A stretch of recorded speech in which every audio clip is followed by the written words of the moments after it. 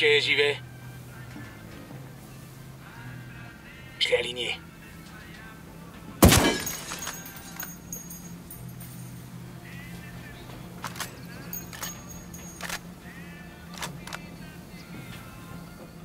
Regroupement. Bien sûr.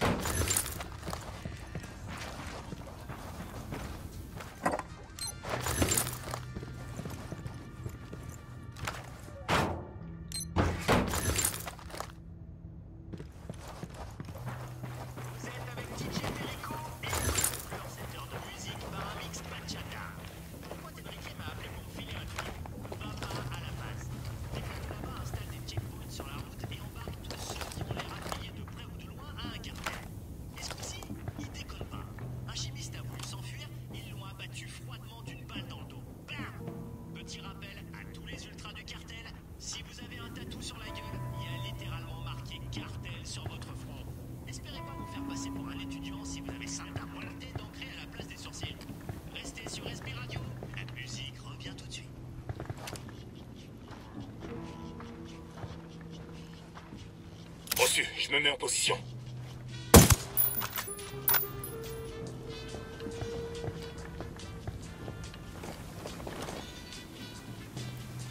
Mobile vers position. J'ai la cible en visu.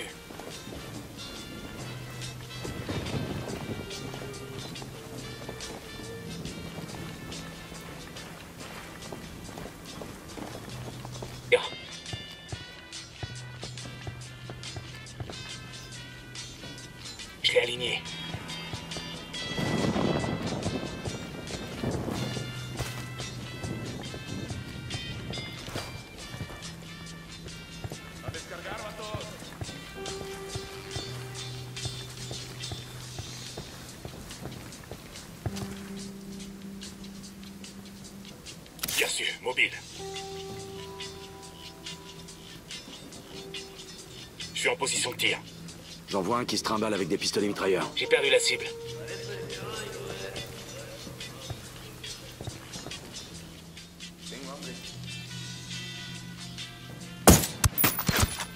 Élimination confirmée.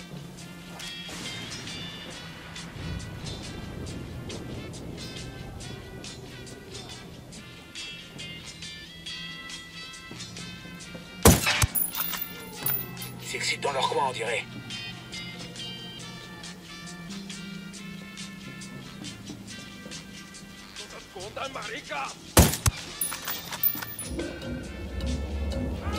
Le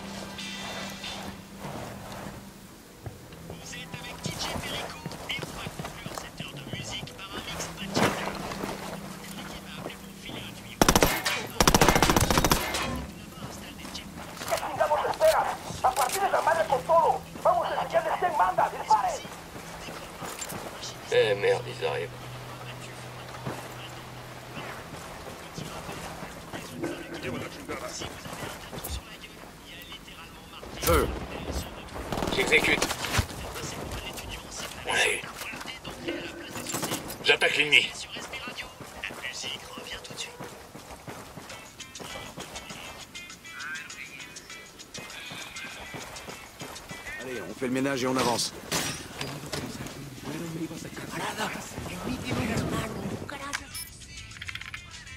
J'ai planning des cargaisons de coca en partance de la gare de marchandises de Tabacal.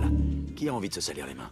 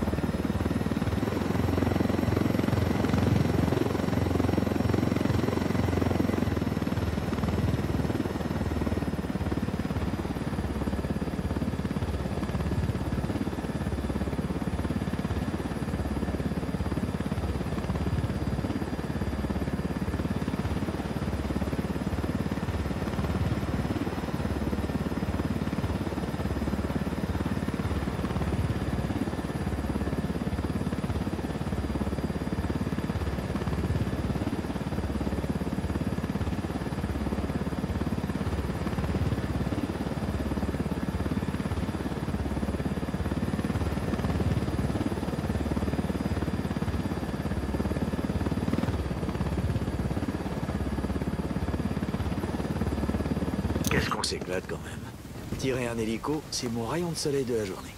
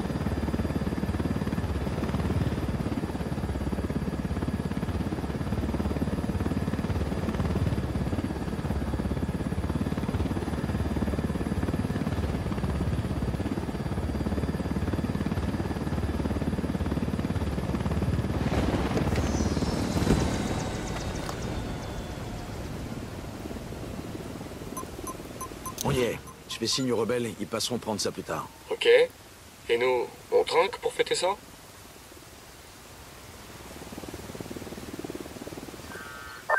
Camarades, ici Pac Katari. Grâce à vous, mes hommes commencent à reprendre espoir. Quand on a le moral, on est meilleur soldat. Oui, l'espoir peut aiguiller mes hommes. Mais il nous faudra plus que de bons sentiments pour l'emporter. Pas de soucis, Pac. La fête ne fait que commencer. Nomade terminé.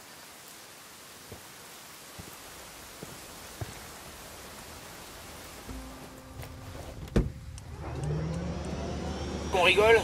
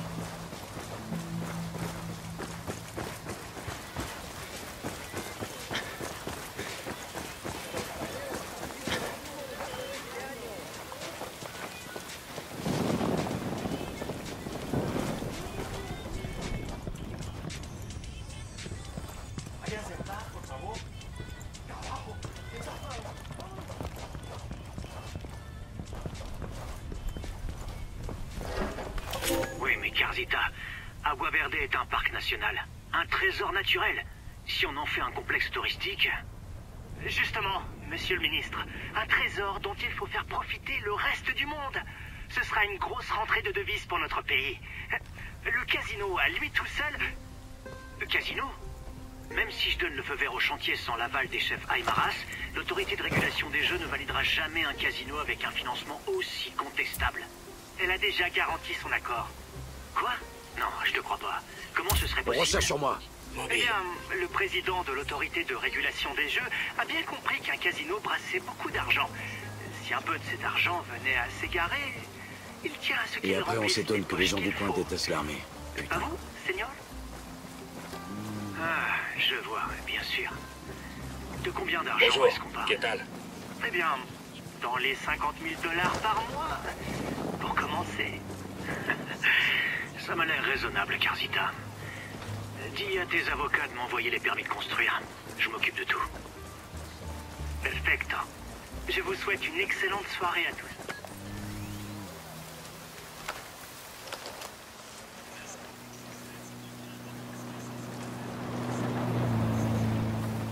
Me mets en position. J'ai aligné la cible. J'ai perdu le visuel. C'était juste.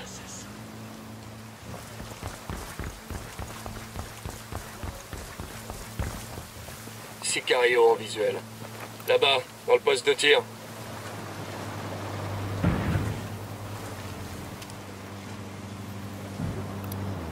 Je repère une batterie fixe. Reçu, je me mets en position.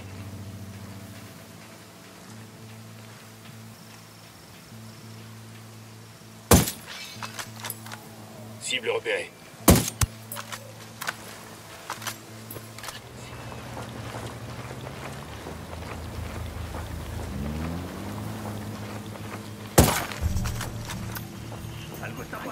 Recule, mais recule quoi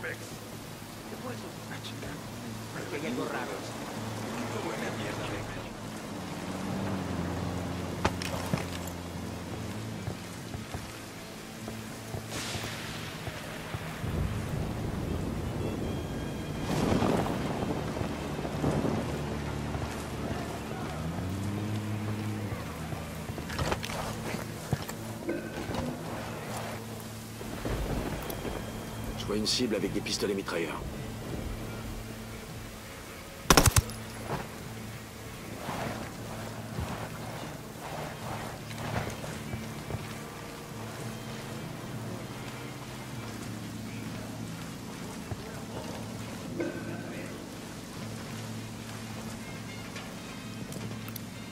Cible désignée. On évite les dégâts collatéraux, merci.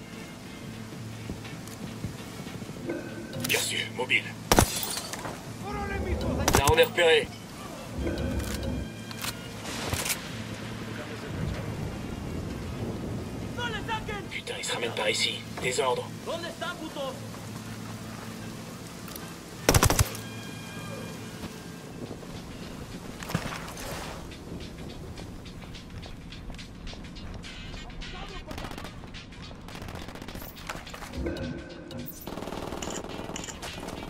Un manifeste de livraison. J'ai l'impression que le cartel envisage une mission de ravitaillement de grande envergure. L'avion cargo a le plein, il est prêt à partir. Les rebelles seraient très contents d'avoir ce matos. Tout ce qu'on a à faire, c'est de le faucher. Regroupement Reçu. Mobile.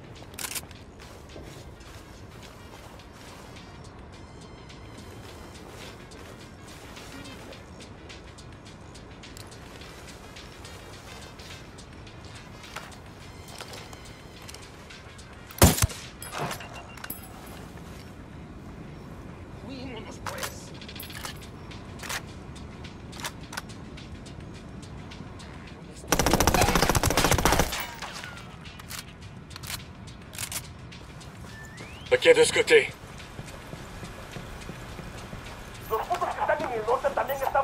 alcance. Je crois qu'on les a bien fait flipper.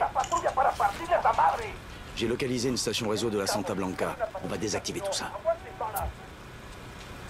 L'ennemi reçoit des renforts. Prêt? Feu à volonté Bien compris.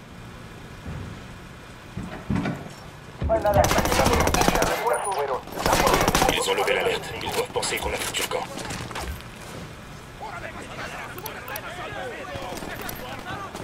Frag lancé Attention les yeux.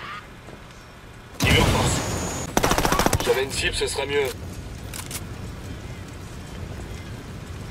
C'est bon pour moi.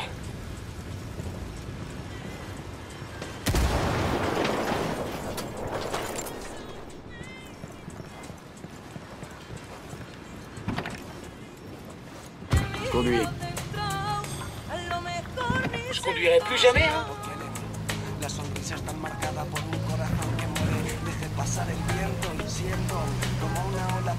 cambiar el momento. Estar en un sueño contigo estoy solo enojado al viento, viéndose la felicidad mientras te voy perdiendo. Bowman, ici Nomade. On vient d'arriver à Okoro. Tu nous fais les présentations? Vous êtes dans la première province productrice de coke en Bolivie. Tout le réseau local, c'est El Yayo qui l'a monté, une bonne dizaine d'années avant l'arrivée de la Santa Blanca. Quand El Yayo a rejoint le cartel pour devenir responsable de la production, il a confié Okoro à son petit-fils, se fait appeler El. L'émissaire. Il passe le plus clair de son temps en dehors de la province à faire ami-ami avec les politiciens de Sucre pour le compte du cartel. C'est pas vraiment à lui de le faire, mais c'est un charmeur qui se dit que c'est le meilleur moyen de faire honneur à son grand-père. El Yayo le laisse faire tant que la production reste stable à Okoro. En fait, le réseau est tellement bien rodé qu'il tourne quasiment tout seul.